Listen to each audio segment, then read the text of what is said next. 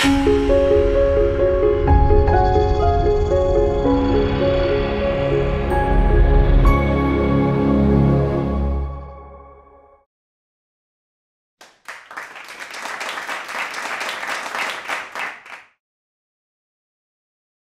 behalf of the Center for Indic Studies, Indus University, Ahmedabad, and the Gandhi Research Foundation, Jalgaon, I welcome you all to this webinar.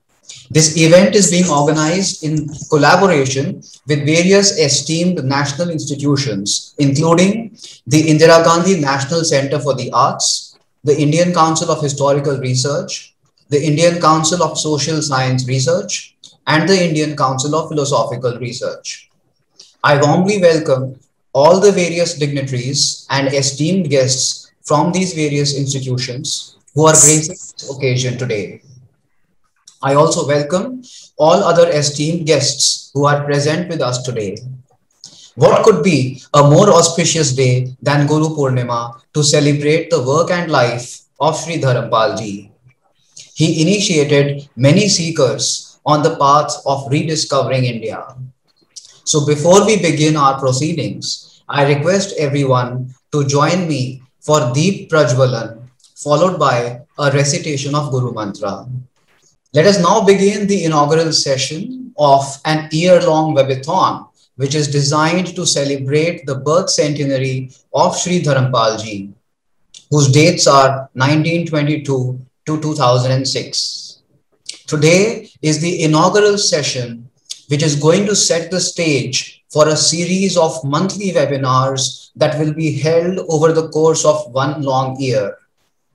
These webinars will be centered on various important works authored by Sri Dharampal ji.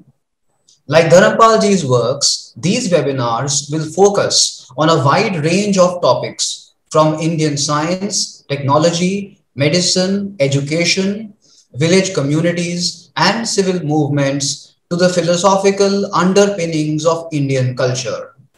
In these webinars, eminent experts, some of whom are present with us today, belonging to various disciplines, will discuss Dharampal ji's work and its relevance for their respective subject areas. I now invite Professor Geeta Dharampal, daughter of Sri Dharampal, to introduce the theme of today's session and give a warm welcome speech on behalf of the Gandhi Research Foundation, Jalgaon.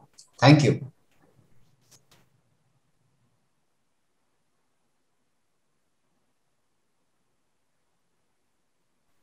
Thank you very much, uh, Dr. Ankur Kakkar. And my very warm welcome to everybody who has joined us in this virtual space.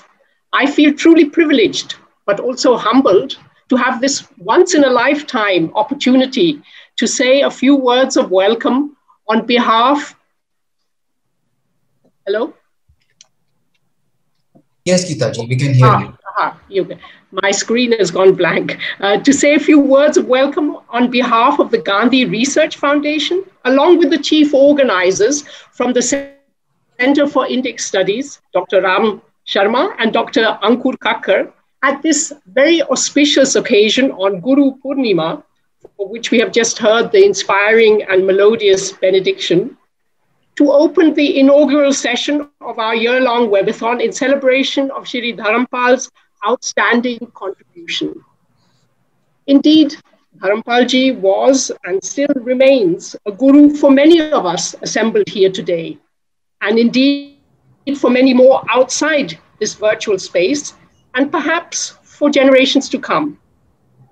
I'm quite overwhelmed by the response that our webathon has received, though in a way I'm not that surprised given Dharampalji's iconic status.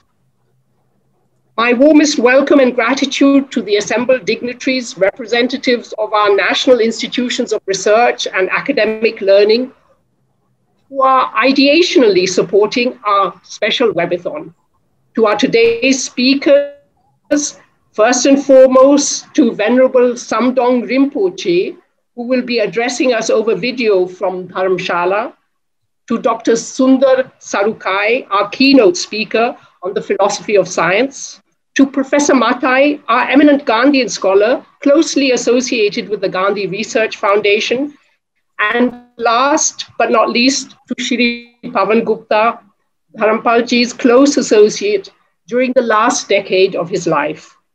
A most cordial welcome also to the gallery of eminent speakers for the 11 subsequent monthly sessions of our webathon, and to all friends, associates, and exemplary people present with us over Zoom and watching over YouTube. All those who are interested in hopefully taking forward Dharampalji's life's work. For that is the ultimate purpose of this webathon, which had to be spread out over a whole year to be able to do justice to his multi-dimensional uh, transdisciplinary or rather metadisciplinary in character, for it transcends normative and conventional categories, yet represents a magnificent crystallization point for many of our concerns today in India and perhaps globally as well. When conceptualized by him in the 1960s and continuing for almost half a century, the blueprints he offered were certainly revolutionary, underscoring the importance of indigenous science and technology, education, governance, local communities and their economy, and also of reviving the traditional synergies in the intra-Asian world. Many of these issues pinpointed by him are even more relevant today and need to be tackled urgently to revitalize India. Hence the rationale for this webathon and why we are all here today. As a Renaissance man, my father and guru embodied for me when I was a teenager living in London the quintessence of India in all its intriguing complexity, but above all as a source of inspiration experiencing so intimately and imminently my father's creative intellect, unstinting commitment and dedication, coupled with absolute integrity and indomitable courage, experiencing all this constituted for me the educational foundation that nourished me and continues to serve as a touchstone for guidance and emulation. No doubt this holds true for many of his shishya assembled here today as well. And most of us who knew him well appreciated his encyclopedic knowledge, which was heightened by his avid curiosity to understand unfamiliar and new developments, forever youthful in mind and spirit. And yet we were flabbergasted or simply astonished by his unassuming, humble manner and his preference for chatting with unpretentious people, housewives, gardeners, and villagers, as opposed to some westernized intellectuals, many of whom he dismissed as bogus. May this irreverent, no nonsense, iconoclastic spirit along with his many other constructive virtues, act as a lodestar to guide and inspire us, even as we pay homage to his legacy this afternoon and in our year long webathon. Thank you very much indeed. Thank you, Geeta ji, uh, Professor Geeta Dharampal, uh, for your wonderful and uh, very nice uh, and encouraging remarks and for reminding us again about the spirit of Dharampalji's life and work. I now invite Dr. Ram Sharma, the Director for Center for Indic Studies, to give a warm welcome on behalf of the Center for Indic Studies, Indus University, Ahmedabad. Thank you, uh, Dr. Ankur. Thank you, Geetaji, for your wonderful remarks. Uh, first of all, on this auspicious occasion of Guru Purnima, I would like to begin by offering my humble pranam and respectful obeisance to Sri Dharampalji.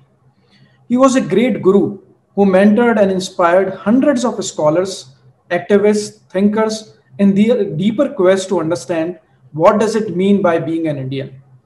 On this occasion, I would like to welcome our eminent and esteemed guests today, Professor Geeta Dharampalji from GRF, Dr. Sachidanand Joshi ji, Member Secretary IGNCA, Professor Kumar Ratnamji, Member Secretary ICHR, Professor Sachidanand Mishraji, Member Secretary ICPR, and Professor Virendra Kumarji Malhotra, Member Secretary ICSSR.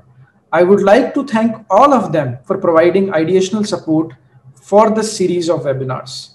And I would also like to welcome our guest speakers today, 5th Samdhong Rinpoche ji, Dr. Uh, Sundar Sarukkai ji, Professor MP Mathai ji, and Shri Pavan Gupta ji. It is indeed an honor and privilege for us at Center for Indic Studies to host this webathon on the birth centenary celebrations of Shri Dharampalji with your august presence and support. Center for Indic Studies at Indus University was established in 2015 with the stated objective of restoring the dharmic narrative of India. It gives me immense pleasure to share with you all that the ideological foundation and inspiration behind the establishment of this center came from two great thinkers of the last century, specifically post independent India. One of those thinkers was, of course, Sri Dharampalji, whom we are remembering today. And the second one was, coincidentally, his good friend, Sri Ram Swarupji, who laid the foundation of the well known publishing house Voice of India. Without their intellectual legacy, we could neither have begun this journey nor made whatever humble contribution we have made or are making in raising awareness about our civilizational understanding. Dharampalji rightly diagnosed that we, especially the educated Indians, collectively suffer from schizophrenia, which eventually culminates in self alienation from our civilizational ethos and practices. In fact, he observed that self alienated Indians are the product of deeply entrenched colonial policies and practices in our social, educational, and political institutions. We have been raised on a pseudo intellectual diet of the colonial narrative of Indians being backward, illiterate, superstitious, and oppressed.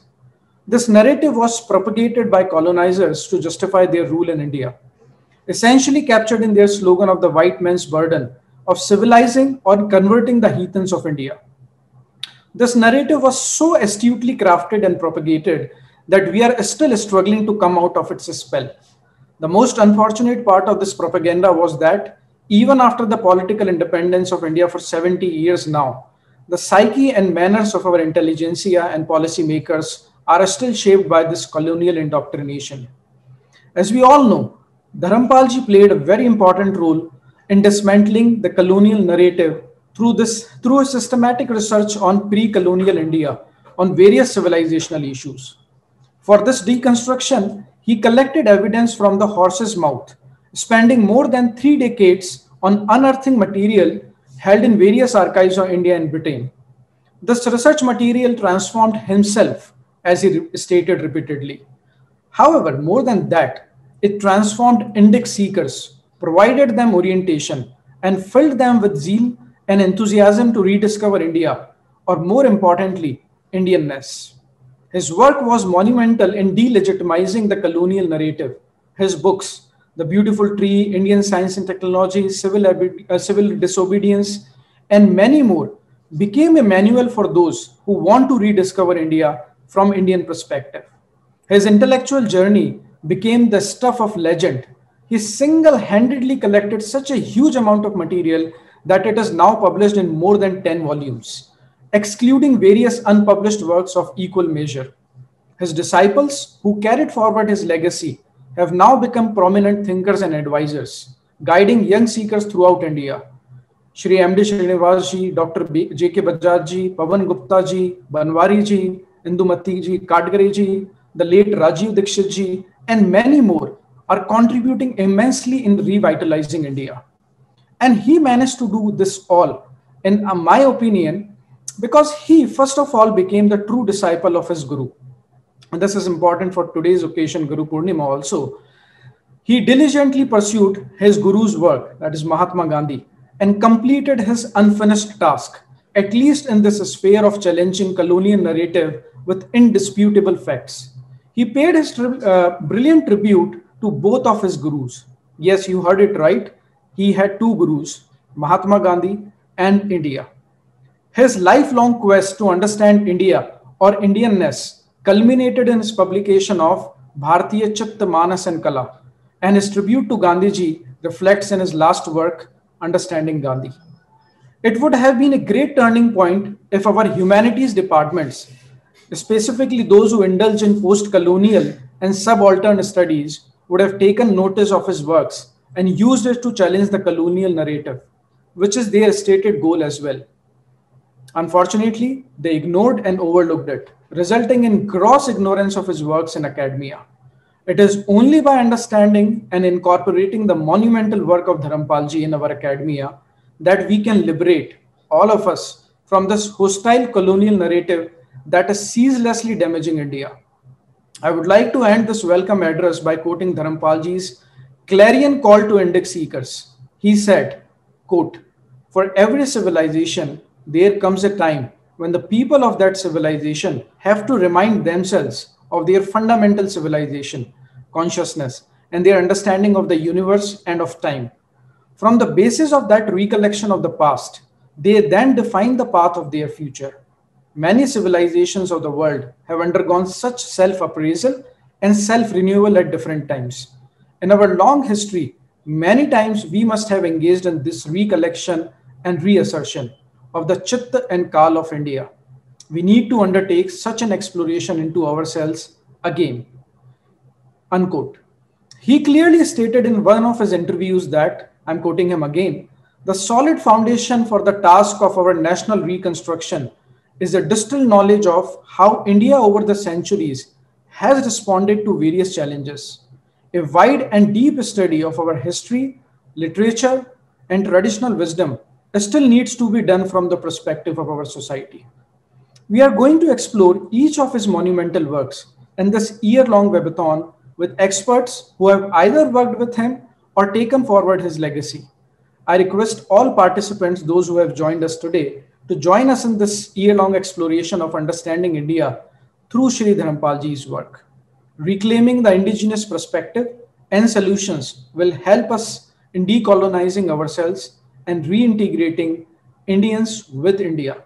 I would like to thank, I would like to again thank and pay my gratitude to all our esteemed guests and speakers who have joined and supported us on this auspicious occasion.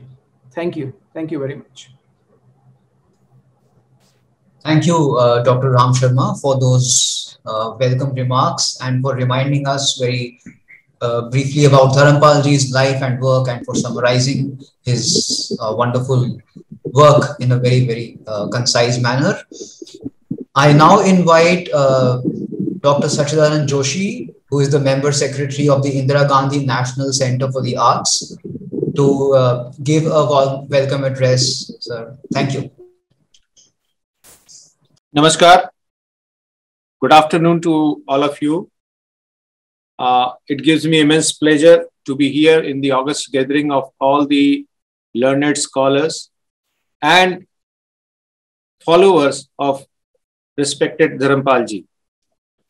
On behalf of Indira Gandhi National Center for the Arts, I welcome all who have associated, who have joined this uh, uh, webinar, and I congratulate Center for Indic Studies, Indus University, Ahmedabad, and Gandhian Research Foundation, Jalgaon, to organize this year-long webathon. And the program, which has been already chalked out, is a very, very uh, deep-rooted program giving insight to the entire work uh, of Dharampalji. It is indeed uh, a moment of uh, relevance that we talk about Dharampalji in the moment when when we all are passing through a challenging time of pandemic. We all are facing the uh, trend of new normal, which is emerging very fast, and we have seen see changes in our lives, patterns, thinking, thoughts, and philosophy and ideology. But the basic values, basic ideology, basic philosophy remains the same, which has been taught time and again by our eminent scholars, ancestors. Professor Dharampalji has been one of them and his teachings, his writings would be the guiding factor for years to come. I'm sure that uh, this foundation and the University Indic, Indic Studies, Ahmedabad, would be uh, doing the deep study on the deliberations which are which would be taking place in this uh, webathon, and we will be bringing out uh, publications based on this so that we can give this material to the generations which are coming and which would be learning to lead the life in a new normal era of the changed world. At Indira Gandhi National Center for the Arts, we have been doing this uh, studies from Indian perspective. We have started a Bharat Vidya Prayojana.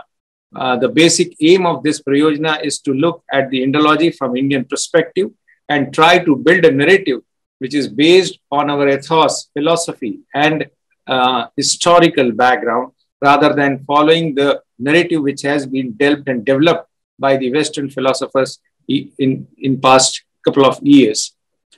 We also started a Sanskriti Samvad Shrinkla where we discuss about the contribution of eminent persons, thinkers who have guided the society in more than one way, like Dharampalji. In fact, we intended to organize one such edition of Sanskriti Samvad Shrinkla this year in the month of February. But as we all know, we all were passing through a very bad phase of pandemic. We did not venture it to do. However, we are committed to do a big function, maybe in the month of February next year, which would be exactly 100 years of Dharampalji. Uh, my Honorable Trust President, Sri Ram Bahadur Raiji, and one of the trustees, Dr. Mahesh Sharma, who are, who are very closely associated with Dharampalji, and they were they they in fact they are followers of Dharampalji in more than one way. Uh, we have spoken at length, and we are trying to uh, chalk out the program how we can celebrate the 100 years of Dharampalji. I must congratulate Geeta ji for her uh, efforts. In fact, she has been the guiding principle behind this entire webathon. And I must also congratulate Sri Ram Sharma and others uh, who have been coordinating this seminar, uh, this webathon for the for the benefit of the uh, entire society. At Indira Gandhi National Center for the Arts, uh, as I have told you, we are committed and we would be doing whatever is expected from our side. I have seen the panel of uh, panelists who have who have been associated and who would be delivering their lectures. I'm sure that they would be of immense importance and relevance, and all those, if documented properly, would be would be some kind of a new uh, new Gita or new new uh, title, new Granth for the years to come, how the society should behave, how India should develop. Uh, I will not take much of time because others, uh, my other associate institutions like Indian Council of Social Science Research, uh, ICHR, ICPR, all member secretaries, honorable member secretaries are there on the panel. Uh, all we all together can really build an atmosphere throughout this year only my humble submission would be uh, that this should not only be limited to the uh, scholars above 50. I think the real task, and, and that is an uphill task, to take Dharampalji to the people below 30 of India, because they would be the India for tomorrow. And if we can take Dharampalji to the to the people below 30 in India, I think that would be a great success. How we can achieve that is, is, is, is, a, is a task and is, a, is an exercise for which we have to sit separately and design some programs. This should not be only limited to the uh, virtual platform where few people come and discuss and go, but this should also go to the grassroots level of the society. That was the dream of Dharampalji. I know that uh, that dream would come true if we all come together and think in a, on a different level. I hope that uh, whenever I am required uh, for, I will be able to contribute whatever little I can do. Thank you very much for giving me this opportunity to share my views. Namaskar. Thank you, sir, for your kind words of appreciation, for giving us uh, so much ideational and ideological support, and for telling us about the work that you have been doing at Indira Gandhi National Center for the Arts and how your center plans to take forward the legacy of Sri Dharampalji. It's very encouraging to know all these things. Uh, I now inv- I'll now invite Professor Sachidanand Mishra from the Indian Council of uh, Philosophical Research to say a few words. Thank you. Namaste.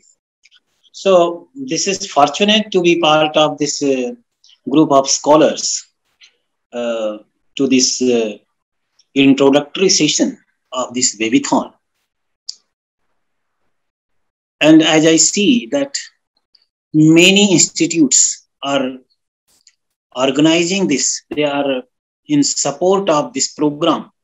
And actually ICPR, ICSSR, ICHR, Gandhi, Gandhi Research uh, Foundation, Jalgaon, INGC, and Indus University, all these are in, um, in collaboration to organize to hold the uh, one year program Webithon on the contribution of Dharampalji. This is a wonderful idea because uh, as I see what uh, contributions Dharampalji has provided, uh, they are so many, they are related to so many fields that one institute cannot do justice to the uh, thoughts of Dharampalji. So this is a very good uh, idea to organize a one-year program uh, with uh, collaboration with all these institutes, ICPR, ICSSR, and so on. And it is also very good to see that uh, the theme of this uh, is actually revitalizing India. Because uh, now we are reaching to 75 years of our freedom. But actually, uh, mentally, we are not uh, free from those uh, impressions which are put uh, on our minds.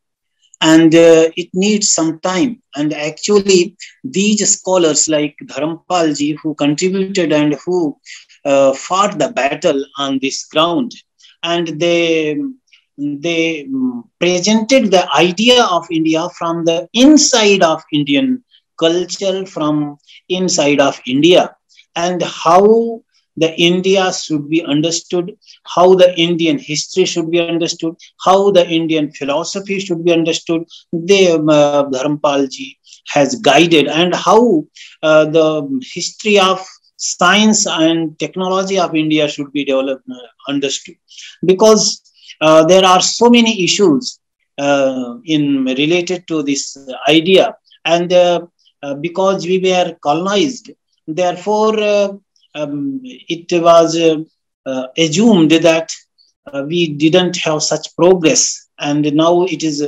very clear that if we study and go through the descriptions provided by the Western scholars, it will be wrong to go to the to the way. So that is a very important thing and very necessary to to decolonize our minds and our mindset.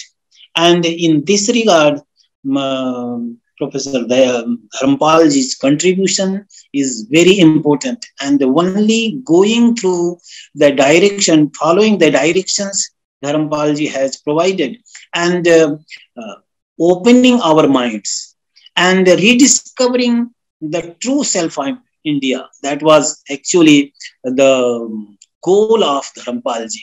We can decolonize Indian minds and that will be done in this year.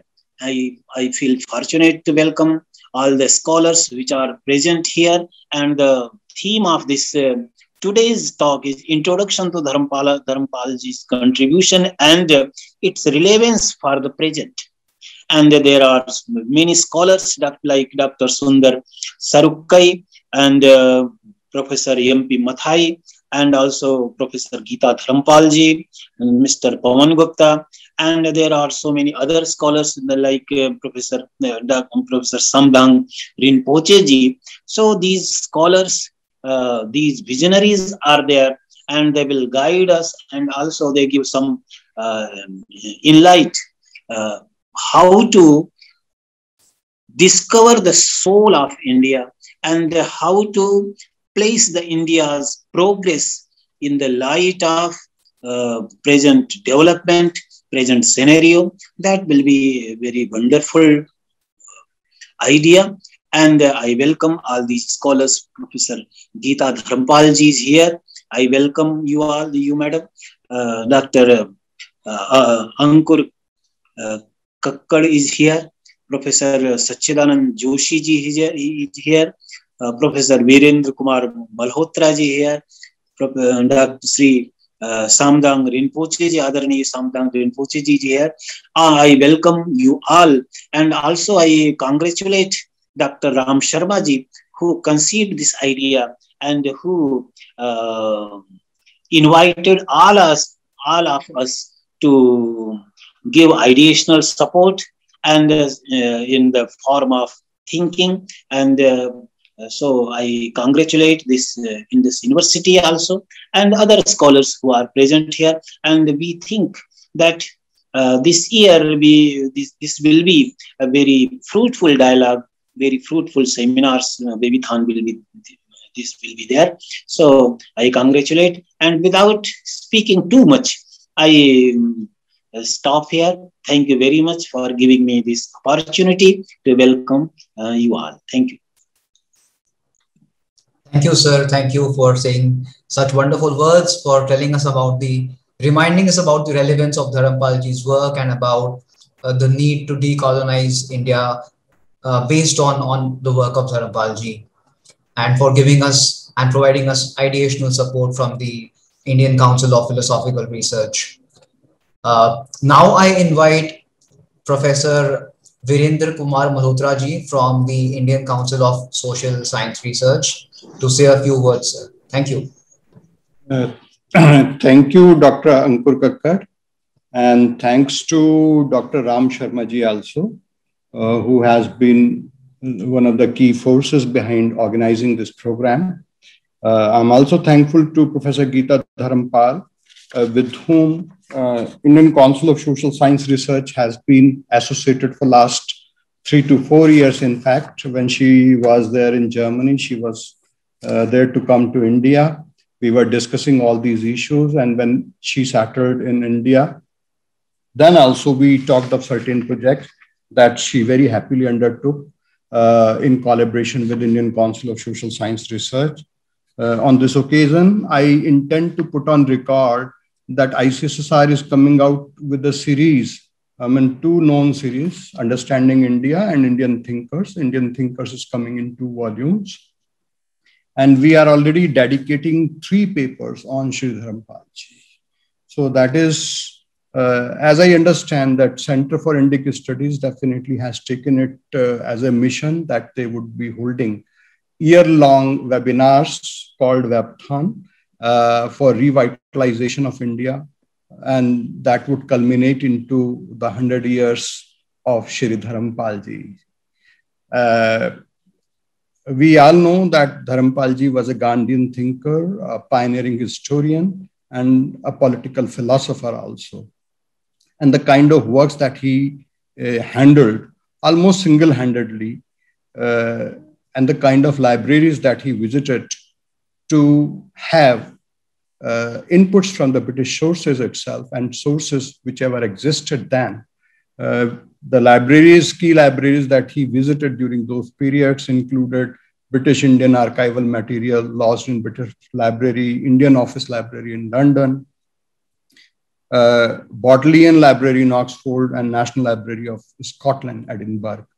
Uh, I very briefly would like to mention few of his works, and they will speak about uh, him more than we intend to speak about him. In fact, the works include The Beautiful Tree, Indigenous Indian Education in the 18th Century, published in, 19, in 18, 1983, Indian Science and Technology in the 18th Century uh, in 1971, and Civil Disobedience and Indian Tradition in 1971.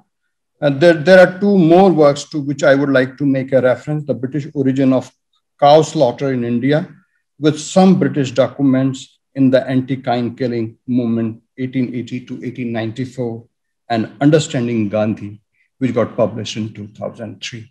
When we talk of all these works together, there is one common thing that comes to our understanding.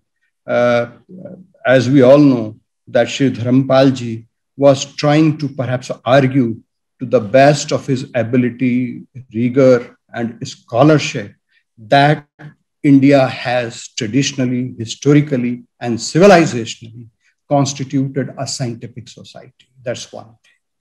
Secondly, whatever distortions in Indian system of education, they came into existence, they came, they started to appear only uh, with the beginning of the 18th century.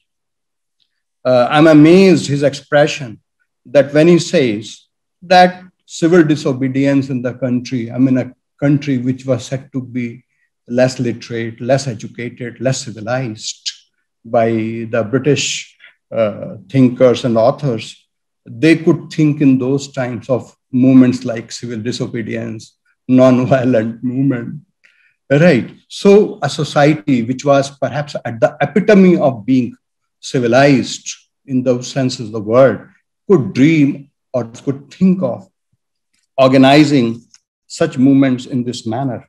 Uh, his comparison with Donald F. Lach's monumental series entitled Asia in the Making of Europe, uh, published in 1965, and another work, uh, his Indian Science and Technology, uh, which was then compared with Joseph Needham's multi-volume work on Chinese science and civilization, published in 1954.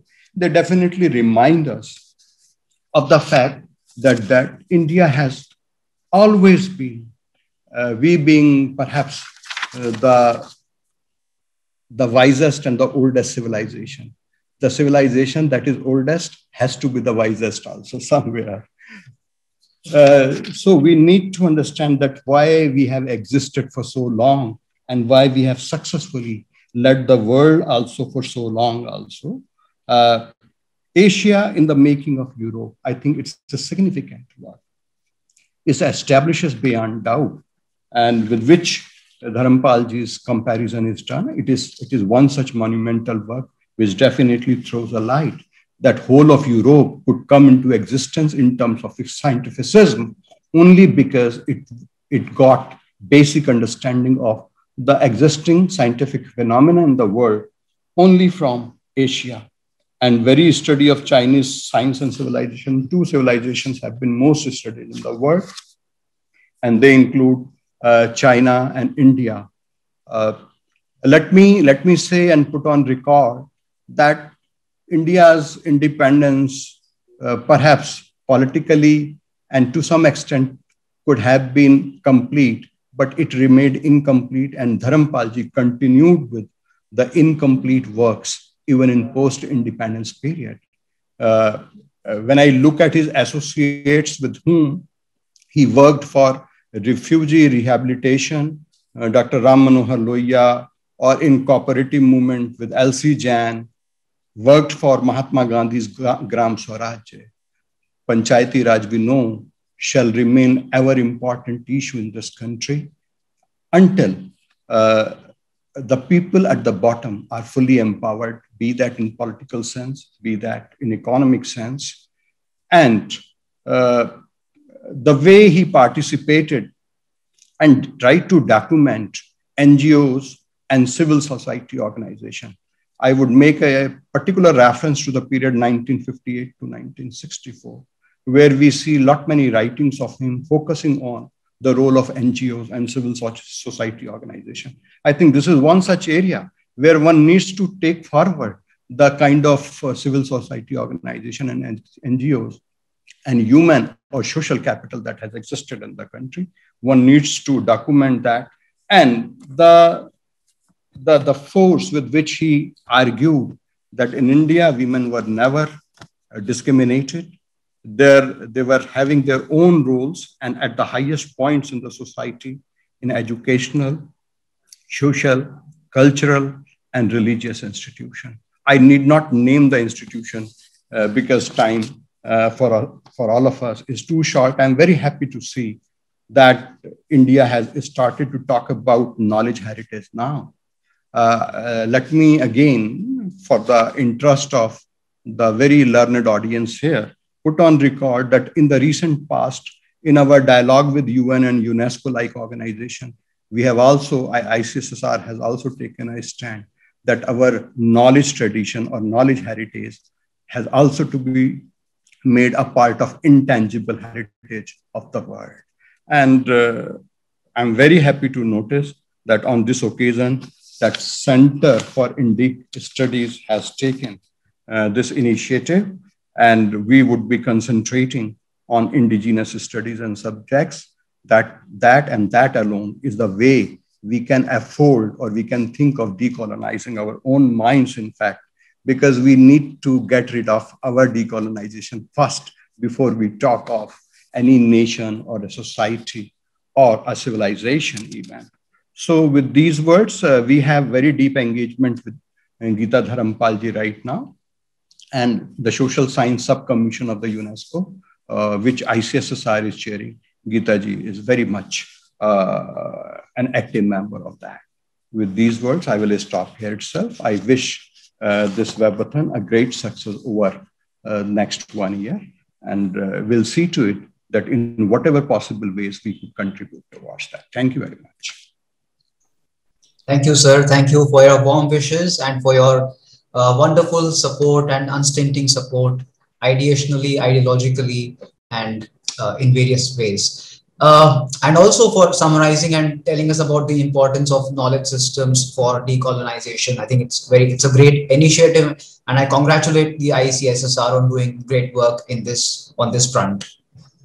I now invite Professor K. Ratnamji from the Indian Council of Historical Research to say a few words, sir. Thank you. Thank you, Dr. Ankurji. Undoubtedly, it's a wonderful occasion and a wonderful event organized by the Indus University and the Center of Indus Studies, the birth century of the Dharampalji. A few days back, I, when I was in Gujarat, I discussed so many things, Dr. Ram Sharma, about the programs and the working of the institution, etc. I'm very happy to share here that we are you are doing such a tremendous work in the field of Indian history, literature, and culture, etc. In that same perspective, you have organized such an event. It is very relevant in the present time when we are, as rightly remarked by Professor Sachidanand Joshi ji, when we are celebrating 75th anniversary of, of the our independence the question is that whether we have got the independence or the power of transfer. It is a very important question to think over it. In the last 75 years was not yet decided whether we have fully independent or we have received only the transfer of power. In this regard, the historian, philosophers, scholars like Dharampalji as not at uh, their recognitions as they must be put in the national or international canvas. I want also to share here that we have organized a national seminar in BHU in October 18 for the first time. It was covered by all the newspapers, channels, and media on the basis of the philosophy of Dharampalji. I think that was a that may be a good concept note for this program also, the proceedings of that uh, seminar, as Dr. Ramji is very much known this fact.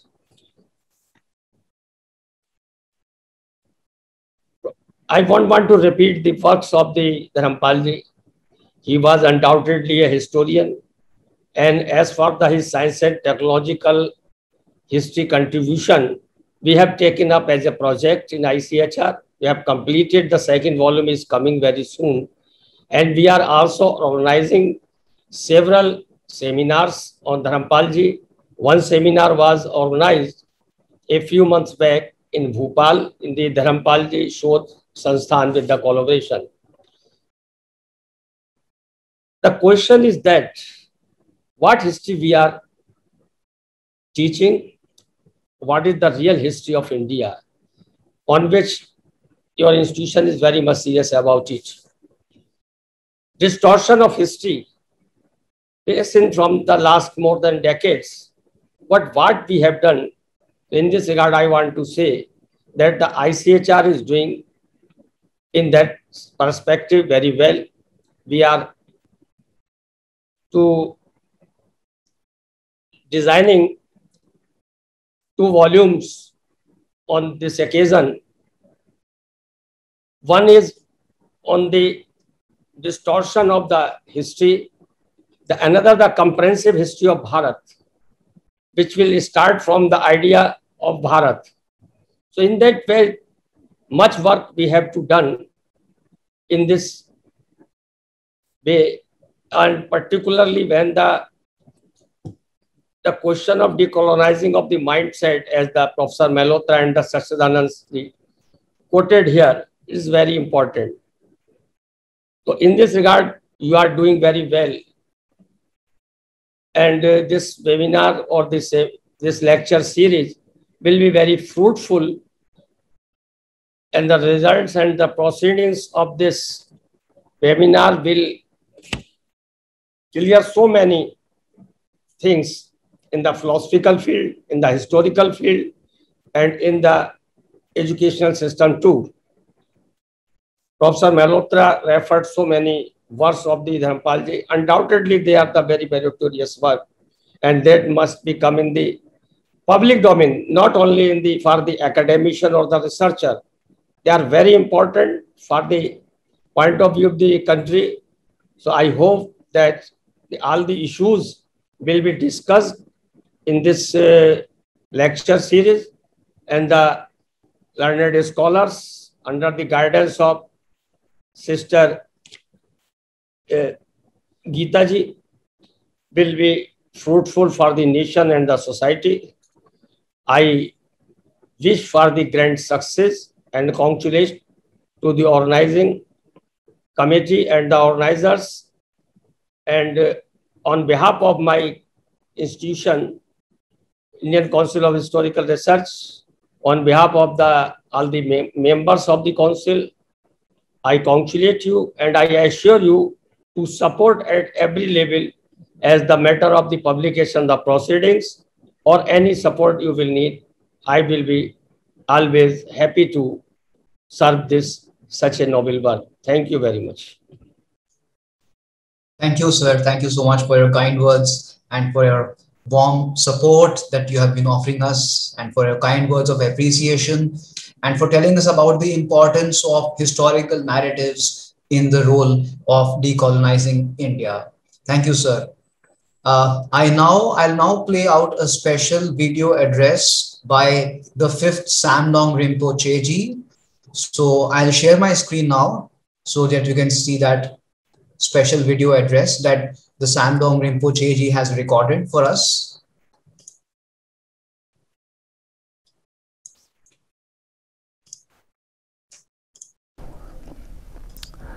आदरणीय doctor Geeta Dharampal ji और समस्त सहभागी लोगों को मैं अभिवादन करता हूँ सेंटर फॉर इंडिक स्टडीज़ और इंडस विश्वविद्यालय, गांधी रिसर्च फाउंडेशन के सम्मिलित तत्वाधान में श्री धर्मपाल जी की जन्म शती मनाने की कार्यक्रम संयोजित किया है। बहुत खुश हुए इसको जान कर के मैं डॉक्टर गीता जी का आभार मानता हूँ, जिन्होंने मुझे भी इसमें भाग लेने के अवसर प्रदान किया। श्री धर्मपाल जी, एक ऐसा विशेष व्यक्ति रहे हैं जो स्वाधीन भारत में भारत की परंपराओं को, पश्चिम भारतीय विद्याओं को और पश्चिम भारतीय संस्कृति को पुनः जीवित और पुनः स्थापित करने के लिए एक विशेष प्रकार की योगदान प्रदान किया है। सभी लोगों को विदित है कि आर्यावत भारतवर्ष एक ऐसा संपूर्ण विश्व में भूभाग रहा है, जो एक और हिमालय पर्वतों की, श्रृंखला की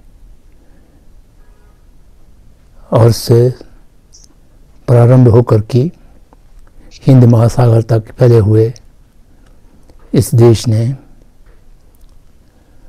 प्राचीनतम सभ्यताओं की स्रोत रहा है।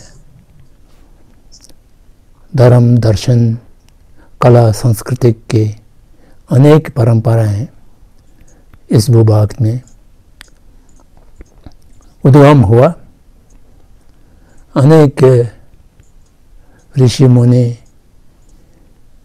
और प्रबुद्ध लोगों का जन्म हुआ। अंगने धर्म दर्शन की परंपराओं का उदय हुआ, जिससे संपूर्ण विश्व में एक ज्ञान की, विद्या की प्रकाश प्रसारित हुआ, जिस कारण सही माने में भारतवर्ष को जगत गुरु की संजय दिया गया है। ये कोई अतिशयुक्ति नहीं थे। ये यथार्थ में सही बात थे और हज़ारों वर्ष तक इन परंपराओं का संवर्धन, संरक्षण, विकास होता रहा, जिससे संपूर्ण जगत को अत्यधिक लाभान्वित हुआ। परंतु कालांतर में आधुनिक के काल के प्रारंभ से ही भारतवर्ष विदेशों की आक्रमणों से और बाहर से आए हुए राजनीतिक या सैनिक शादियों के कारण पराधीन राजनीतिक दृष्टि से और अन्य अन्य दूसरे दृष्टिकोण से भी पराधीन रहा विभिन्न शासकों के माध्यम से, जिसके कारण भारत की परंपरा और विद्या और ज्ञान की हरास हुए। उन हरासों की इतिहास को देखें तो प्रारंभ में जो विदेश शासन, शासकों के माध्यम से राजनीतिक के दमन की अतिरिक्त सांस्कृतिक और दार्शनिक के परंपराओं का विशेष रूप से सुनियोजित ढंग से समाप्त करने की चेष्टा नहीं हुए, परंतु बाद में ब्रिटिश शासन के समय में जब तक भारतीय शैक्षणिक संस्थाएँ और सांस्कृतिक परंपराएँ, दार्शनिक परंपराएँ को, परंपराओं को नष्ट नहीं किया जाए, तब तक ब्रितानी शासन स्थायी रूप से रह नहीं सकेंगे। इस तथ्य को देखते हुए आधुनिक शिक्षा प्रणाली का एक कार्यक्रम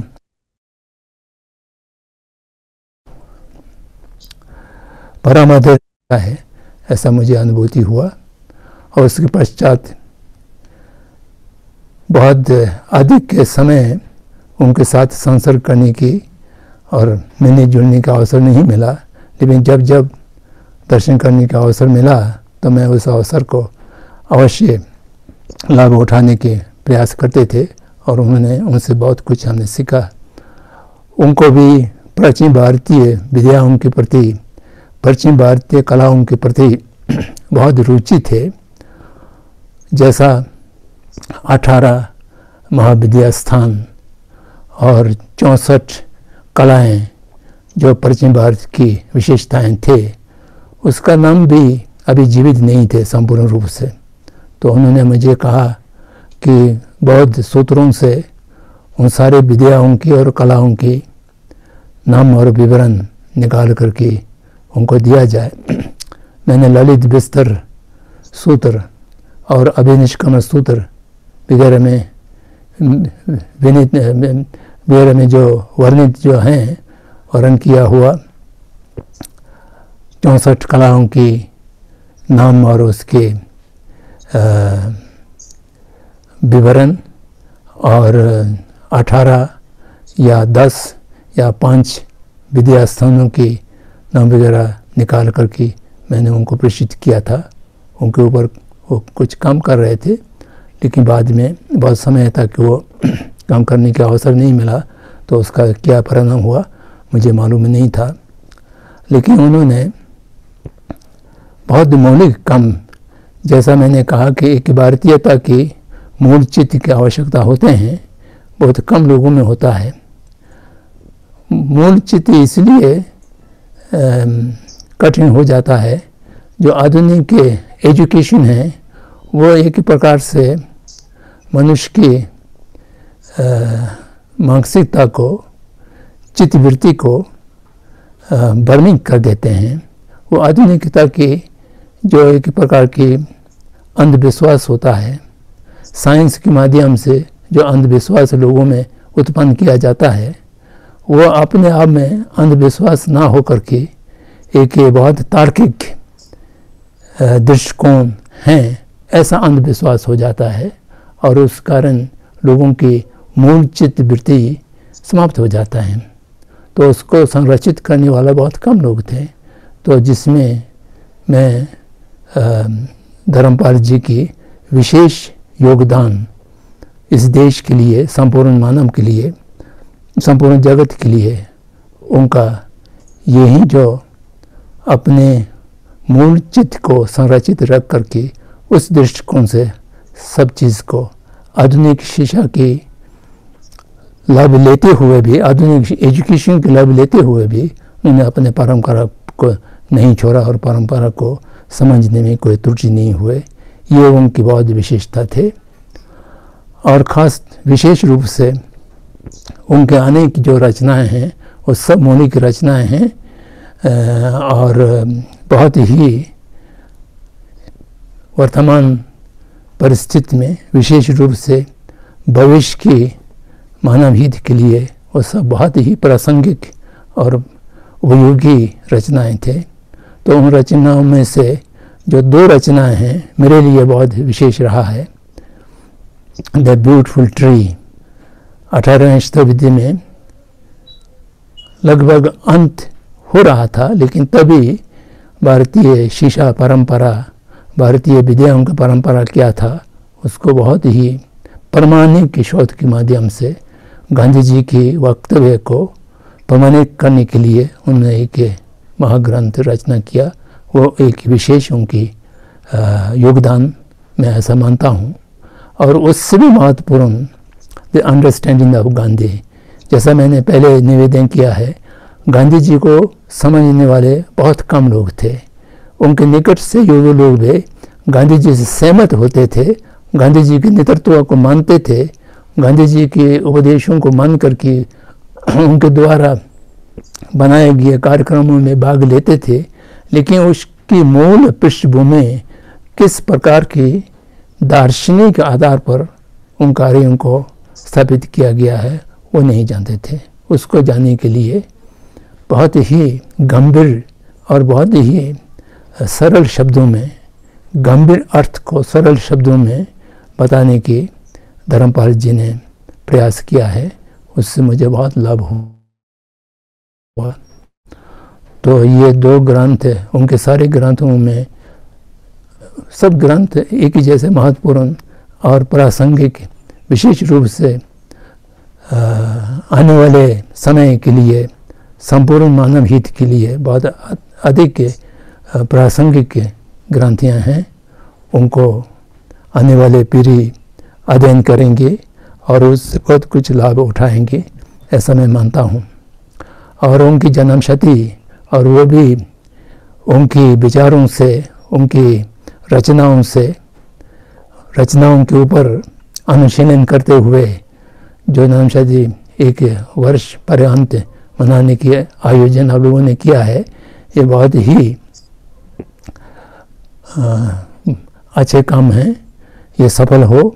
और इसमें संलग्न जितना भी संस्थाएँ हैं और व्यक्ति लोग हैं, उन सबको मैं साधुवाद देता हूँ और मैं प्रयास करूँगा भविष्य के कार्यक्रमों में भी अगर संभव हो तो मैं भी सहभागी रहूँ और ये सारे काम सुचारू रूप से संपन्न हो और जिससे धर्मपाल जी की योगदान को पुनः सब लोगों के पास पहुँचने की एक निमित्त बने और जिससे भारत की और संपूर्ण जगत की कल्याण सिद्ध हो, ऐसा मेरे शुभकामना है। और आज ये प्रथम उनके जन्म शती की कार्यक्रमों में जो एक प्रकार से उद्घाटन सत्र हैं, इसमें मुझे भाग लेने के अवसर मिला। मैं अपने को सौभाग्य समझता हूँ। गीता जी को पुनः मैं धन्यवाद देता हूँ। और ये सारे कार्यक्रम सफल हो ऐसा मेरे शुभकामना और त्रिरातन से प्रार्थना करता हूँ जय जगत So that was a brief and warm welcome address from the fifth Samdong Rinpoche ji. I hope that you are all able to hear it. And uh, even though the volume may be slightly low because of the recording quality, I guess, but I think it was still quite audible.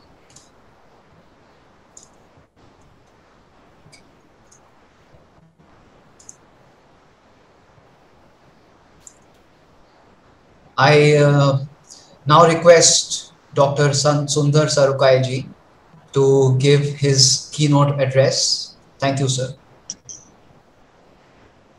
Thank you, uh, Dr. Kakar. Um, it's a great pleasure and honor to give this talk as part of this very important celebration of Dharampalji's work. I'm very grateful to Professor Geeta Dharampal who when she contacted me about the possibility of talking in this uh, occasion and I was um, immediately I immediately agreed because of many reasons. One, um, the stature of the scholar, of the kind of person he was, and also because much of the work uh, which we have done earlier have been influenced to a great extent by Sri Dharampalji's work. And more important, um, some of us have always uh, been thinking about how to convert that kind of important insights into many aspects of not just society and culture, but also on aspects of science and technology within contemporary situation. Earlier, somebody remarked that we should be uh, getting more young people uh, to, or, you know, understand uh, Professor Dharampal's work and so on. And uh, to us, it is a very important uh, part of our own engagement with his ideas that we find the language to communicate the relevance of these kinds of reflections. So I'm really grateful to uh, Professor Geeta Dharampal and all of you who have organized this uh, event. Um, I hope there will be no uh, intervention, uh, you know, technological problems while I do this. I'm on the west coast and there's, as many of you would have heard in, in Karnataka, there's been massive rains and I'm hoping um, we will be able to sustain this. But if there is a problem, there's still very heavy rains here. I will just turn off the video and then continue. Um, yeah, so I want to begin with a very simple point that uh, the work has had significant influence. And to take one step beyond what most of you have spoken about so far, the influence is not just about interpreting India and interpreting the past of India, but also about the notion of science and technology. To me, that's an extremely important uh, insight which comes, which is catalyzed by uh, Professor Dharampal's work. And so I'm going to stick to that specific point to try and show you how that is integrated with all the work that he has done and that it is not a standalone point at all. Now, interestingly, my own introduction uh, to uh, Dharampalji's work came when I uh, joined the National Institute of Advanced Studies in Bangalore, which many of you might know was an institute which was the last institute started by J.R.D. Tata, but uh, the founding director was uh, Dr. Raja Ramanna, the well-known Indian scientist. So when I joined NIAS, um, you know, I was surrounded by, it was a very small institute, We had people like Dr. Ramanna and Professor um, C.V. Sundaram, uh, who were uh, very well-known scientists who had moved away from their practice of everyday science into looking at various other aspects of science. In particular, uh, Dr. Ramanna at that time was very interested in Buddhist philosophy and um, he he did write some very interesting stuff about the way in invoking the ideas of Buddhist philosophy in understanding contemporary physics. Uh, Professor C.V. Sundaram was a metallurgist who came from a very strong technology background. He was a previous director of the Kalpakkam Nuclear Institute, um, the lab, um, you know, um, uh, the DAE lab in uh, Kalpakkam. Uh, and he had he was beginning to think about questions of uh, technology. So when I joined that institute, I had the occasion to be able to start getting to be influenced and talk to them about questions of what constitutes ideas of Indian science and Indian technology and the big shift for me in my own engagement with this particular problem, uh, considering that my primary um, interest was and my work research interest is in philosophy of science, uh, but very ironically, the, my uh, shift into this program came through an introduction to Professor Dharampal's work through Claude Alvares's book, which many of you know, uh, the well-known book Decolonizing History. Now, through decolonizing history, we were uh, I, ended up looking at uh, work and we found that there was a completely different framework to actually try and understand what it meant to talk about science and technology. So again, the question is not about Indian science and technology, but opening up the spaces to talk about science and technology, given the fact that the definitions of science and technology were restricted, were in many times utilitarian or many times very idealized. Now, it so happened that um, um, after uh, Dr. Ramanam, uh, we had a very another very well-known scientist who was deeply interested in the history of science, Professor Roddam Narasimha, uh, who unfortunately passed away a few months back. Um, he uh, was um, a very well-known scientist, but he was also an extremely uh, keen, um, you know, reader of uh, student of history of science, and in particular history of Indian science. So uh, it was within this um, kind of a constellation of people who came to the question of history in a very similar way to how Dharampalji came to the question of history in trying to understand the nature of science and technology, particularly in the Indian context.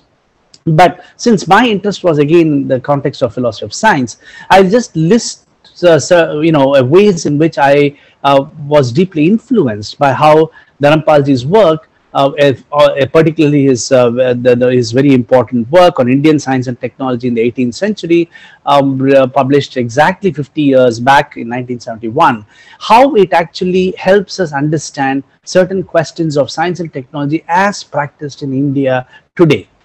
So the first, uh, to me, the great learning from looking at Dharampalji's work um, along with uh, very important work, uh, of course, by Claude Alvares and also by people like Michael Adas, um, the very famous book on machines as the measure of men, was to recognize that it is impossible to meaningfully talk of a philosophy of science. By philosophy of science, I mean an attempt to understand the foundational aspects of what science is. Um, that it is impossible to understand a meaningful approach to philosophy of science without factoring history of science and my shift uh, you know for, in my own studies in philosophy i had never engaged with the question of history and it is due to Dharampalji's influence that I started looking at the questions of history as being integral to any question of philosophy in a very important sense. And in this particular case, um, uh, Dharampalji's work on science and technology, although looking at British archives, looking at the ways in which um, you know narratives of science and technology are constructed by a colonial administration for reasons of power and exploitation and so on, uh, which is well known and which many of all of you are well versed in that very important influential work by Dharampalji. But when I looked at it, it actually points uh, to a very important aspect of how to actually study cultural practices of science and technology, which is that science and technology is not independent of certain cultural practices and that it cannot be reduced to just certain what we would call as you know epistemological essence claims of this knowledge or that knowledge. The practice of science, in its social moorings of science, in its social egalitarianism, which arises in the kinds of examples which are spoken uh, in many of the examples discussed by Dharampalji and later workers who worked on very similar topics in building a history of science, it shows the co social complexity of the idea of science and the impossibility of defining science without the social complexity.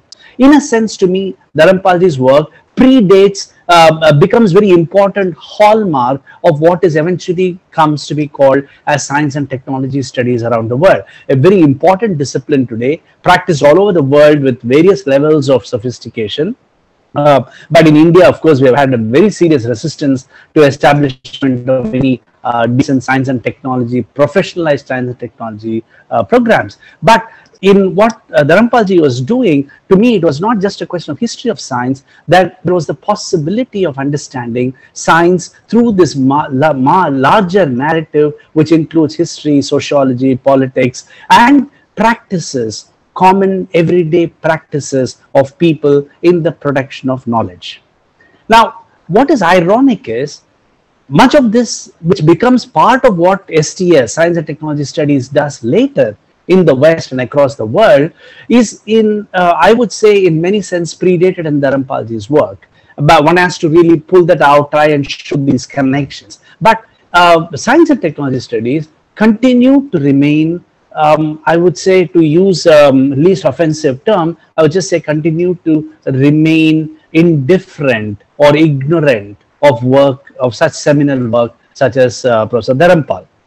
And um, you know, as recent a book, um, the the STS uh, Society, a very important Society for Science and Technology Studies, the Triple S Society, uh, published an handbook called the STS Handbook, a very influential handbook, uh, a huge volume which brings the scholars from around the world uh, to talk about various issues in science and technology studies. And the latest one, which is just a couple of years back, was uh, one which began with the, with the editors making the point that they wanted to be uh, have more diversity. They wanted to include Asia and Africa more in this particular um, uh, handbook. And yet, if you open the handbook and go through the contents, it's only about 5% of papers uh, of, uh, of all the chapters are published come from authors who are situated outside the dominant West. In other words, although the beginnings of trying to understand science and technology studies in the rubric of multidisciplinary approach through history, sociology, political science, etc., was available in the works of Dharampalji, STS studies globally continues this complete, uh, you know, as I said, uh, ignorance or, um, you know, which whatever, I, I, really don't know how to articulate this indifference towards uh, drawing upon this uh, very important work. At the same time, in recent time, there has been quite an influential set of um, debates and discussions between historians of science and philosophers of science. ISIS, the one of the most influential journals in history of science, uh, also published, for example, um, a, a, set of special papers talking about the relationship between history of science and philosophy of science. Now, even in these kind of approaches, there seems to be a complete lack of understanding of how to draw upon the history of science produced by people like Dharampal. Now, there are two ways of responding to this question. One is to say, well, this is the problem of colonialism, and many of you um, talked about it, and that's true. I mean, that's, uh, I would say, a very obvious state uh, given fact, and we have to find ways to engage with that question. But today, in the remaining few minutes, what I want to also point out uh, so as not to reduce everything that Dharampalji uh, did to just problems of colonialism is to also highlight another problem and this other problem is that there is a genuine problem in evaluating and reading the material produced as part of this history of science. I'll just give you some simple examples to illustrate what I'm trying to say. In other words, one of the reasons why there is a genuine um, you know disconnect between making sense of the accounts of the historical um, historical um, you know data on the on scientific practice in Indian society, ancient and medieval, by modern scholars. One is, of course, colonialism, and the other is that there is a difficulty in understanding the conceptual foundations, sorry, uh, behind this empirical account. So what this, what I mean by this is this. And I'm saying for those of us who want to take Dharampalji's work in, uh, in the contemporary world, try and teach this relevance of it to our students, we have to engage with this question. In other words, what it means is we need to find a framework to shift from the kinds of narratives of histories of science that we know about, what people did when, like for example, the kinds of so-called developments in ancient India, etc., in the framework of a conceptual schema which we understand today. So I'll give you uh, the problems with this and also potential solutions and end with this. So one, the fact that uh, a large amount of this empirical um, empirical discussion and setting out of this uh, very rich history of uh, Indian science and technology um, and the fact that it was being ignored by much of the historians of science, um, much of uh, you know the global history of science, etc., can be seen as one that this kind of history was being tolerated at the most or it was completely rejected in full or dismissed. And that's a range of things you may have. Um, in our own work with historians of science uh, globally, very important, influential historians of science, uh, when I got a group of them from Canada to come to uh, India to do, have a discussion on this, um, you know, they would say at the most that well, all these points about uh, science and technology in India are interesting, but we won't say anything about it. So then I asked them, would you go teach this in your classes? After all, if you if you think that these are reasonable, then would it become part of your textbook because it's part of the history of science? And then they would still say, no, uh, we don't know enough about it. We don't want to say anything about it. So it becomes it becomes worse. It becomes worse than rejection with explicit colonialism, for example. What what happens to this history of science material is uh, they just become indifferent to it. It is not uh, cited. It does not circulate within the way history of science understands itself, nor uh, do these examples go to construct a meaningful definition of what science is. So, the other kind of extreme which I have seen is to say, well, um, let me accept that all these uh, uh questions about science and technology which have been given by these historians by from this archival work by people like Dharampalji, etc. Let's accept those things. And then they would say, so what?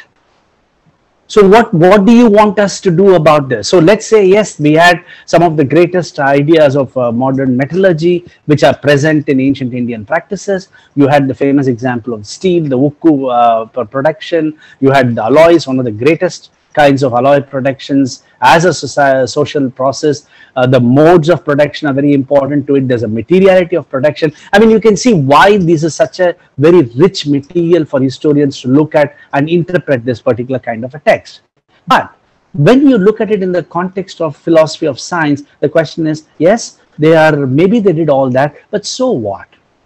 There are two answers to this. One comes from the colonial discourse which which said, well, these people produced all these kinds of questions of uh, you know uh, metallurgical product in chemistry and medicine, etc. Uh, Dharampalji, for example, talks about the smallpox example and so on, and in astronomy. I mean, there are uh, you know many many examples, and we have seen some of the best uh, work by Professor M.D. Srinivas and his colleagues on Indian mathematics. Very rich, uh, you know, very exciting material for us to uh, think and look at it uh, from both the historical and the philosophical sense. But still, the, the question is the, the burden of answering the so what does fall upon us. And that is not just a question of a nation or civilization. That's an intellectual question of what it is to define science and technology. How do I learn to draw upon this material to say something meaningful about alternate practices of science and technology, about an alternate worldview of science and technology? To me, that's one of the greatest contributions by Dharampalji's in Dharampalji's work, which is it is not just about giving a, a kind of a historical account or giving you some instances of what people had done earlier, but of making us understand that these kinds of practices are integral to the lived experience and the lived practices of a functioning society and that therefore any notions of your definitions of science and technology has to start from that level. The the the the reaction of so what has gone so deep today that e- today it is impossible to talk about certain kinds of um, many of these practices um, you know because there is an absolute incommensurability of terms which operates in the in, in this discourse. Two classic examples i can give you. One is the example of ayurveda. And again i'm sure much of you many of you uh, know this very well. There are very good scholars of uh, ayurveda here and i don't want to say anything more and i know uh, professor darshan shankar is also speaking later on in this webathon. Uh, but I, the, the, the kind of prejudice which exists in our response to the question of Ayurveda is that you can talk about Ayurveda as giving us certain kind of empirical accounts of certain medicines, giving us certain kinds of uh, uh, descriptions of particular ways. But what people have, uh, the problem people have is when you talk about Ayurveda as a quote unquote science or as a knowledge system and it has gone so deep that I'm right now in the midst of a you know a debate or a fight, if you like, with ISIS, this uh, uh, you know the most highly rated history of science journal published from the U.S. in uh, regarding a paper which was published by a person in one of the sister journals called Osiris, where he begins by pointing out that uh, you know I, I, think that's it's actually a very um, nasty attack on Ayurvedic people, Ayurvedic physicians, and uh, people who talk about Ayurveda uh, in terms of knowledge systems. And for him, if uh, you invoke the term knowledge system vis-a-vis Ayurveda, then you are betraying various things ranging from nationalism to right-wing, etc., etc. So I wrote to their ISIS editors and I said, uh, look, this is slander and uh, there, there is no way in which you should be publishing and legitimizing such um, you know abusive terms with respect to a system in which you have no stake in and which you have no knowledge about and you know it's been going on but the isis editors um, keep telling me that this is part of uh, academic freedom and people can criticize people the way they want and they do not seem to understand the fact that they are making a judgment on uh, Ayurvedic, um, you know, um, scholars and physicians who talk about it in terms of knowledge that uh, the, what they are doing constitutes slander. There, there are other very good examples. I'll give you one more example of the way in which um, history of science is engaged with the question of um, research in meditation. You know, I've been for a long time been part of uh, various uh, workshops and conferences in uh, Buddhism, uh, particularly because of the great interest among the Buddhists in the Buddhist community and particularly the Dalai Lama on Buddhism and science. So there was a meeting in Sarnath um, when Professor Samten was there, and we had had a uh, it was a big international meet on science and Buddhism, and there was a uh, there was a group of people um, and one of a neurobiologist from um, from Europe spoke about this based on her work with her colleagues, which was on giving medical correlation to compassion meditation. So she took a set of monks when they are doing compassion meditation, uh, put certain kinds of, uh, you know, basically it's fMRI mapping, brain mapping. And from that, she was telling us something about what is happening when during compassion meditation and describing uh, or you know telling these monks oh you know the fact that you do compassion meditation and that it is good is because of these brain activities now, the, the problem in these kinds of ways of understanding uh, the practices of different cultures is that the only way in which you're able to understand the science and technological practices of another culture is through your own framework. So, uh, very she's a very obviously a, a very open, a very good scientist in her field, but she was forced to try and understand these the, the, to make meaning of the foundational concept of meditation through the framework she had which is modern biological modern uh, image making techniques etc but the question which i had for her was look you the buddhists did not produce compassion meditation by sitting under a tree and for the idea falling on their head. They did they produced this technology of meditation because of their theoretical structure of the body and mind. But that theoretical structure of body and mind is not part of your understanding when you take their compassion meditation seriously. So what what is happening to this huge work on ancient Indian historical work on science and technology, like in Dharampalji's work, is that they are being Asian and African subjects are being reduced to empirical subjects who do not have the capacity to have the theoretical knowledge of what they have done. That includes, uh, including about Ayurveda. It is like, oh, all of you knew meditation, I don't know how. All of you know how to do this, produce these wonderful medicines, I don't know how. But let us give you the theoretical structure for it and this is not something very uh, you know uh, i'm not even i don't even have to imagine this the if you look at the colonial discourse by philosophers and scientists and others you will see this repeated um, uh, thing as part of the colonial discourse and part of contemporary discourse today, which is that ancient civilization, Indian civilization, uh, uh, did not possess idea of theory, did not possess the idea of philosophy. And the, you might ask the question, why do we need to respond to this? We don't need to respond to this, except, of course, unless you are in an international fora where you're producing knowledge which is shared by the larger world. But more importantly, you know, rather than getting into the rhetoric of that, for me, the, the very important question it uh, raises, and this is my last point, and I'll end with this point here, is that um, it allows all of us, and you know, with kinds of uh, programs that you are thinking of with this webathon and hopefully uh, opening up uh, access to uh, Professor Dharampal's work by many young scholars, what it does is it opens up the possibility of showing how our contemporary world of science and technology can draw upon, not reduce to, can draw upon ideas from Asia and Africa in a very deep sense. That the meaning making of the world has to draw upon the intellectual strength of societies which um, which come from Asia and Africa, which can actually give you alternate modes of understanding the world. So, for example, if you look at philosophy of science as a discipline and you find that it is uh, completely drawn upon, uh, the whole basis of it is built on Western philosophies right from the ancient Greeks, but it is completely silent on how you can draw upon uh, on the on Indian and Chinese tradition. So I did a book called Indian Philosophy and Philosophy of Science to give an example, you know, not about Indian philosophy, but to show how other alternate philosophical practices, particularly logical traditions in Indian tradition, which includes the Buddhists, the Jaina, the Charvakas, and others, in in giving a language for understanding contemporary philosophy of science.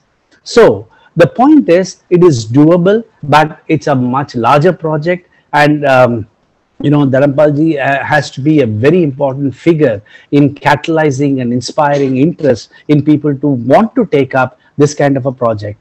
Again, uh, let me be very frank. My point about my point about uh, why I was moving into looking at some of these Indian philosophical and Chinese uh, African traditions uh, was primarily because I felt that they brought in a different worldview. They brought in different conceptual vocabulary. And they allow us to understand our contemporary world in far more interesting ways and more important in ways which may be extremely important for the future of the human race around the world that we are not in a position where we can let the interest groups of a very small group of people from very small dominant cultures to actually dictate the way the world has to evolve. And that notion of the egalitarian, democratic, respectful practice, which comes from Gandhi to Dharampalji, the conversion of these principles from Gandhi and Ambedkar into Dharampalji's own work in the context of history is an extremely important insight uh, of producing intellectual democracy, of uh, engaging with opening up the ideas, taking in people, being inclusive in, in this large uh, game of knowledge production within um, within societies. And there are genuine problems. As i said you have to find the problem of language uh, there's a problem of language problem of translating concepts etc and i um, and of course Dharampalji shows us one way and for me the important point is that it we, we would be um, making a mistake if you read these books separately uh, even if you take just his five collected works, the five works in his collect, uh, the, the volume of his collected works,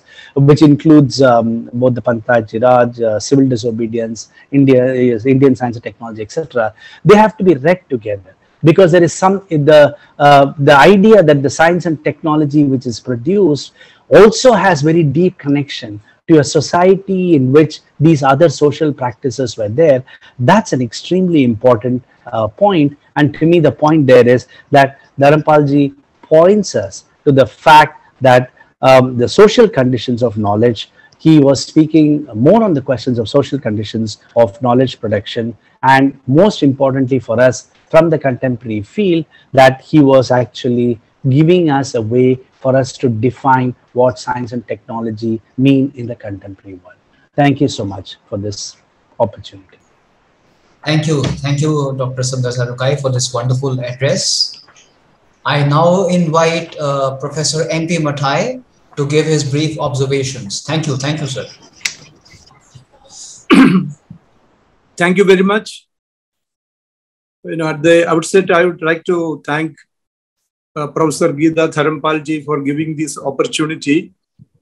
Uh, my intention is to pay my personal homage to the memory of Dharampalji, whom I had the privilege to meet and, uh, and befriend. I recall that it was in Chennai that I first met him. Um, and he was the guest of uh, the veteran Gandhian Arunachalam ji, who was an MLC. Uh, and it was in the company of uh, uh, and in the room of Arunachalam ji in the MLC hostel that I met Dharampal ji. And it was Arunachalam ji that introduced Dharampal ji to me. And later, um, as a frequenter to uh, Sevagram Ashram, I had the opportunity to refresh my acquaintance with him we all know that uh, Dharampalji made Sevagram Ashram his second home, and he worked from there for many years. I recall, uh, you know, Karl Marx was asked about his favorites, his favorite color, his favorite name. And one of the questions was, what was his favorite hobby? And Marx answered, that his favorite hobby was bookworming. And uh, in, the, in the same manner, uh, if I say that the favorite hobby of Dharampalji was worming archival materials, it would, be, it would be a mistake to say that it was his hobby. Really, it was his mission. And when I first met him in Chennai, he was there to check the archives in, in Chennai in connection with his researches. And in Sevagram Ashram, I could see that he was always encircled by young, inquisitive, educated young men from different premier educational institutions of India. They were not only seekers of knowledge, but also were very eager to do something to change India and Dharampalji was not only inspiring them, but he was also motivating them. And I had the opportunity to, uh, to be a witness to some of the interactions that Dharampalji had with this brilliant young men from different premier educational institutions of India. And I was reminded of uh, the of Socrates and his young friends. You know, Socrates was always encircled by a group of young people, inquisitive and questioning young people. And I was reminded of this ancient great teacher. You know, Dharampalji wanted to give it a, a kind of uh, a systematic form to these interactions. And therefore, he formed a circle which he, which he christened Oceanic Circle, you know, it was from Gandhi that he borrowed this concept and also this name, oceanic circles. And unfortunately, this oceanic circle could not continue for uh, many years uh, for reasons very not very well known to me. You know, the circles faded away. and you know, and it is the nature of oceanic circles, you know, the outer uh, layers, the outer circles will naturally fade away. And that's what happened. You know, of course, I've been, I have, I've been an avid reader of uh, the books of uh, uh, Dharampalji, and I know uh, the great contribution he has done to deconstructing the colonial discourse on India. And the speakers before me have elaborated on this point, and therefore I don't want to repeat them. I would like to say uh, that it is very appropriate that in the centenary year of Dharampalji, a series of programs which will bring out the importance and relevance of Dharampalji's work are going to be are organized by Gita Dharampalji. And it's my good fortune that I was invited to participate in this inaugural session and I, I offer my best wishes to the coming programs and look forward to participating in them and benefiting from them. Once again, I thank Gita Dharampal and offer my best wishes and concord. Thank you very much. Thank you. Thank you, sir, for your kind words and warm wishes. I now request uh, Sri Pavan Gupta ji to, to give uh, some brief remarks and tell us about his association with Dharampal ji. सभी को नमस्कार इसमें शामिल होने के लिए जब अंकुर जी का न्योता आया तो मैंने पूछा कि मैं हिंदी में बात कर सकता हूँ। तो उन्होंने कहा, ये अच्छा रहेगा, क्योंकि बाकी सभी अंग्रेज़ी में बोलेंगे तो शायद हिंदी में आप बोलेंगे तो ज़्यादा अच्छा रहेगा, एक तरह की विविधता आएगी। तो मैं ये जानते हुए कि बहुत लोगों को शायद हिंदी में थोड़ी मुश्किल हो, फिर भी मैं हिंदी में बोलता हूँ। आ, समय कम है इसलिए मैं सिर्फ़ एक ही बात पे अपनी बात को केंद्रित रखूँगा। और वो ये है कि धर्मपाल जी का जितना भी ये पाँच वॉल्यूम की बात होती है ब्यूटीफुल ट्री साइंस टेक्नोलॉजी वगैरह वगैरह इसको जब लोग पढ़ते हैं और इसकी चर्चा होती है और इसको कभी कभी अब कोशिश हो रही है कि कहीं करिकुलम में भी लाया जाए मेरा सिर्फ़ एक निवेदन रहेगा कि ये पढ़ते वक्त हमारा, हम थोड़ा अपने आप को गौरवान्वित महसूस करते हैं। हमें अच्छा लगता है कि ऐसा भी हमारा देश रहा है। हमारी बहुत सारी मान्यताएँ टूटती हैं। ये अच्छी बात है। लेकिन बात इससे ज़्यादा आगे जानी चाहिए। धर्मपाल जी ने जब ये काम किया, वो कोई उस सेंस में स्कॉलर नहीं थे। उन्होंने तो अपनी फॉर्मल पढ़ाई बीएससी भी पूरी नहीं की और बीच में छोड़ दिया। तो जब लोग विद्वता की बात करते हैं तो इस देश में विद्वता कुछ और तरह की रही है। उसको भी हमें देखना चाहिए और शायद धर्मपाल जी उस परंपरा को बिलोंग करते हैं। उन्होंने जब ये काम किया तो मुझे ऐसा लगता है कि काम करते करते, ये रिसर्च करते करते, चीज़ों को खंगालते हुए ब्रिटिश आर्काइव्स को, उनके कागजों को देखते, दस्तावेजों को देखते देखते, उनका अपना जो दिमाग एक बनते गया। और वो दिमाग ये बना कि ये कैसा समाज रहा होगा। एक फंक्शनिंग सोसाइटी जो भारत की वो कहते थे कि एक फंक्शनिंग सोसाइटी थी तो ये कैसा समाज रहा होगा। ये सारी चीज़ें चाहे वो शिक्षा के क्षेत्र में हो साइंस टेक्नोलॉजी के क्षेत्र में हो, खेती के क्षेत्र में हो, कारीगरी के क्षेत्र में हो, और व्यवस्थाएँ, मुख्य बात है, वो व्यवस्थाएँ कैसी रही होंगी, जिसकी वजह से ये सब संभव हुआ। और व्यवस्था अगर ऐसी कुछ ज़रूरी है कि व्यवस्थाएँ वैसी रहें, और वो आज की तरह राजकीय व्यवस्थाएँ नहीं थी, ये स्टेट स्पॉन्सर्ड या स्टेट कंट्रोल्ड व्यवस्थाएँ नहीं थी, ये सामाजिक व्यवस्थाएँ थी।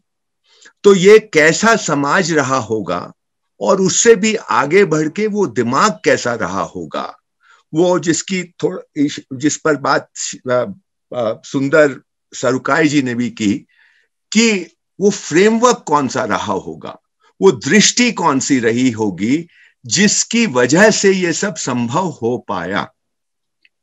तो मैं उनका सबसे इंपॉर्टेंट काम जो ये सारी रिसर्च के बाद निकला, जो उन्होंने भारतीय चित्त मानस काल में लिखा है तो वो भारत का मानस कैसा रहा होगा? और धर्मपाल जी की शायद ये, मैं मैं उनके ओर से तो नहीं कह सकता, लेकिन मुझे ऐसा लगता है कि शायद वो इस कोशिश में थे कि हम उस मौलिक जो मानस भारत का रहा है, उससे कनेक्ट रिकनेक्ट हो सकते हैं क्या? उससे पुनः हम रिकनेक्ट हो सकते हैं क्या? और इसके लिए वो कई बार कहा करते थे कि क्या ये संभव नहीं है कि भारत के किसी एक क्षेत्र को, किसी एक डिस्ट्रिक्ट को सरकारी सारी नीतियों से, सारी पॉलिसी से, सारे एडमिनिस्ट्रेशन से अलग कर दिया जाए और वो लोगों को अपने अपने दिमाग से, अपने मानस से, अपने तरीकों से वो फिर से उठ खड़े हों तो शायद ऐसा कुछ हो पाए। ये धर्मपाल जी हमेशा एक स्पेकुलेशन की बात करते थे। ये खास करके हमारे देश में बहुत इंपॉर्टेंट है कि हम इस बात को समझें, क्योंकि हमारा पूरा का पूरा इतिहास गड़बड़ हुआ है, ये हम सब जानते हैं। हमको धर्मपाल जी का काम इसलिए भी ज़्यादा इंपॉर्टेंट लगता है कि इस तरह की बातें किसी और ने बहुत कम हुई है। तो हमारी हिस्ट्री डिस्टॉर्टेड है। और हमारा इतिहास जिसको मैं हिस्ट्री से अलग मानता हूँ, वो भी डिस्टॉर्टेड है। और हमारा सोचने समझने का तरीका पिछले सौ, डेढ़ सौ साल में इस अंग्रेज़ी पद्धति की शिक्षा की वजह से देखने का तरीका बदल गया है। जैसे साइंस की ही बात ले तो हम इसमें एक छोटा सा किस्सा लाऊँगा, शायद उससे बात साफ़ होगी। एक बार रिम्पोचे जी से बात हो रही थी, सम्मान्य रिम्पोचे जी इसमें भी बोले, उनसे बात हो रही थी तो वो हँसते हुए बोले कि आजकल लोग बोलते हैं कि बुद्धिज्म साइंटिफिक है। वो ये कहने लगे कि जब साइंस दुनिया में नहीं थी, ये साइंस, मॉडर्न साइंस तो बुद्धिज्म क्या था? ये बहुत इंपॉर्टेंट बात है कि हम आज हर चीज़ को मॉडर्न साइंस के फ्रेमवर्क से सत्यापित करते हैं जज करते हैं, देखते हैं। क्या हम इस बात के प्रति सचेत हो सकते हैं कि देखने, समझने के और भी तरीके हो सकते हैं। और शायद वो तरीके, वो दिमाग को हमको ढूँढने की चेष्टा करनी चाहिए और वो उसकी झलक और बहुत सारा इशारा है भारतीय चित्तमानस काल में कि किस तरह की रिसर्च हमको करनी चाहिए। उसमें कुछ इशारा इस तरह का भी है कि हमारे जितने भी ग्रंथ हैं पुराने, हमारे स्क्रिप्चर्स हैं, उसमें बहुत बहुधा दो लोगों के बीच में संवाद हुए हैं। वो हो सकता है वशिष्ठ और वाल्मीकि के बीच में संवाद हो, वो हो सकता है भृगु और भरद्वाज के बीच में संवाद हो। ऐसे दो लोगों के बीच में संवाद है। हो सकता है कि भीष्म और युधिष्ठर के बीच में संवाद हो, जैसे शांति पर्व में है। इन संवादों को वो कहा करते थे कि हमको देखना चाहिए। और उन संवादों को जब हम देखेंगे, उसको, उसकी गहराई में जाएँगे तो शायद हमको वो सूत्र मिलेंगे। जो सूत्र भारत के मान, साधारण भारत के मानस में गहरे बैठे हुए हैं, और जिसकी वजह से भारत अगर कभी समृद्ध और शक्तिशाली था तो था, उसकी वजह से था। इन चीज़ों को हमको ढूंढना चाहिए। तो ये जो शोध का कार्य है, ये एक बहुत बहुत महत्वपूर्ण है। लेकिन ये जो कुछ था, ये संभव कैसे हुआ, इसकी ओर हम अगर देखने का प्रयास करेंगे Uh, I now invite uh, Professor Geeta Dharampal ji to give her concluding remarks uh, and uh, conclude this session. Thank you. Thank you very much, um, uh, Dr. Ankur Kakkar. And I am uh, really quite overwhelmed by the last two hours. They were really very stimulating. And I think this was a really very fitting way to celebrate the legacy of Dharampalji and in a way also to indicate the way forward. Um, but for the inaugural session, I think all has been said so beautifully and elegantly, and in a way, uh, you have all squared the circle so that there is no need for any concluding remarks by me, especially since we shall be continuing our discussions during the course of the year in the 11 subsequent thematic sessions. thanks to the informed contributions of eminent experts in the respective fields. But it would be appropriate for me to articulate our heartfelt thanks to each and every one of you who has con contributed to the success of this inaugural event. Let me proceed in a sequential manner. And first and foremost, Dr. Ankur Kakkar, our extraordinary moderator, both gracious and efficient, deserves our heartiest thanks for his unstinting commitment in preparing this event. Thank you, Ankur. Uh, he was the steadfast fulcrum, the nodal point behind the scenes, so to speak. Then secondly, my special thanks to Dr. Ram Sharma, Director of the Center for Indic Studies, for managing this event so flawlessly and for maintaining his cool even when matters became critical. Um, and I was really impressed by your uh, in, introductory speech. Thank you very much indeed. Thirdly, my deep appreciation on behalf of the Center for Indic Studies and the Gandhi Research Foundation to the four member secretaries of our national institutions for gracing this event um, with their presence, despite their many other commitments. They uh, must be named. Uh, and in particular, I want to thank them very, very um, warmly and cordially for their erudite speeches they must be named specifically, namely Dr. Sachidanand Joshi from the IGNCA, Professor Sachidanand Mishra from the ICPR, Professor Kumar Ratnam from the ICHR, and Professor Virendra Kumar Malhotra from the ICSSR. Their enthusiastic and informed recognition of Dharampalji's contribution and their avowed support of this webathon are most greatly appreciated. Then our deepest appreciation to our first speaker, Venerable Samdhong Rinpoche, for his philosophical civilizational treatise, replete with spiritual insights and profound wisdom, and situating the significance of Dharampalji's uh, contribution in our endeavor to revitalize Indian civilization to our keynote speaker, Dr. Sundar Sarukkai, for his lucid and illuminating talk on Dharampalji's uh, contribution um, as an avant garde historian from a philosophical and scientific perspective, in underscoring the socially and culturally embedded nature of scientific knowledge, scientific and technological knowledge and practice.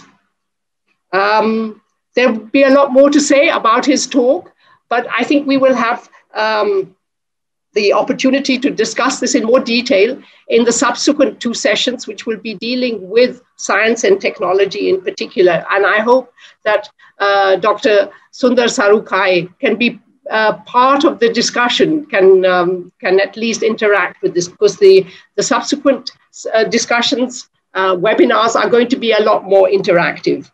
Then to our Gandhian scholar, Professor Mathai, for my deepest uh, gratitude for his deeply empathetic observations and about underscoring my father's charismatic influence and for, in a way, um, uh, attracting successive generations of young people um, uh, in his his role as a Socrates, as an Indian Socrates. That was very, very interesting. I haven't heard that comparison being made uh, before. Um, but um, I feel that um, uh, this this aspect of my father, the way he appealed also to the young, and I think this is still the case. And uh, the comment that was made by uh, one of the member secretaries that that um, um, his work should be more accessible to the youth we are trying this. This, I think, is one of the are going to be one of our key goals during this centenary year. So uh, maybe um, this his um, attraction for the youth will continue, uh, Professor Mathai. and lastly, to Shri Pavan Gupta, who explained to us the quintessence of, uh, of Dharampalji's original contribution uh, in such a reflective manner. And um, emphasized um, India's original contribution to, to the world, uh, uh, to world civilization. Again, there's a lot more that can be will be said about this, and his focus uh, on one slim volume, Bharat Chit Manas and Kal. This is going to be, form the topic of a of a webinar session on uh, I think the 19th of March, to, uh, if I'm not mistaken, um, where um, um, where Pavan will be, Pavan Gupta will be um, talking about this. So um, with Bharat Gupta. Um, so I think this will be a, a, very important session to take forward what uh, what Pavan uh, Gupta was able to just um, touch upon in a few words. Above all, our warmest thanks to our audience, virtual but most attentive and truly supportive of our enterprise. May you all remain loyal to us and to our special webathon. We shall try and ensure that the subsequent sessions allow for audience participation.